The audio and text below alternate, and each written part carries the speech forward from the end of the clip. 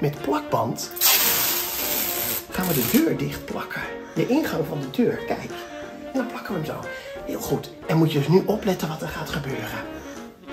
Als nu je vader of moeder eraan komt, dan lopen die zo. La la la. Oh! Dat is heel grappig, toch? Ja. Nou, heel veel succes met deze leuke grap. Oh ja, kijk voor meer grappen op deze website of lees het boek De Vreselijke Tweeling. Want Max is een echte 1 april grappenverzinner.